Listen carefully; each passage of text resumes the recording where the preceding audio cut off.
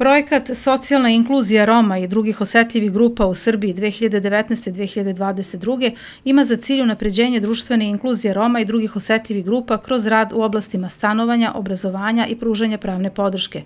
Kragujevac je pored Aranđelovca, Šapca, Smederevske palanke, Žablja, Novog Sada, Obrenovca i Zvezdare jedna od opština koja je odobren ovaj projekat, čija je ukupna vrednost 30 miliona dinara.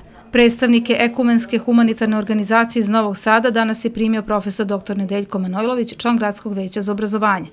Aktivnosti na ovom projektu trajeće od jula 2019. do decembra 2022. godine. Grad Kragujevac će sprovoditi kroz ovaj projekat kroz tri komponente, to su komponenta obrazovanja, komponenta pravne pomoći i komponenta stanovanja. Komponenta stanovanja obuhvata dva naselja, a to su naselja Licika i Korman.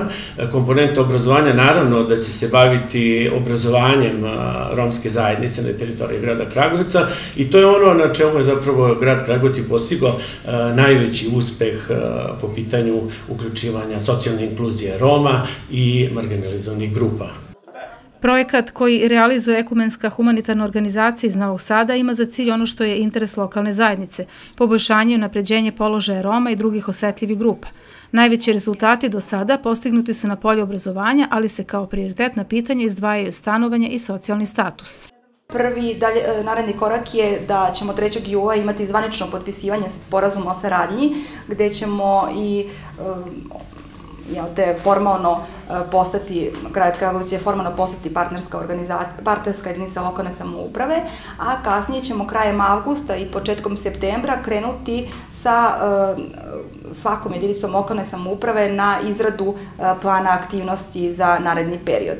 Um, koliko sam razumela, grad Kragovac će um, formirati jednu radnu grupu koja će biti zadužena za implementaciju ovog projekta i onda ćemo sa tom radnom grupom krajem augusta, početkom septembra raditi na aktivnosti koje ćemo implementirati znači 2019. i 2020. a onda ćemo ponovo raditi kasnije na naredne dve godine šta, ćemo, šta će biti fokus i koji problemi će se rešavati na terenu.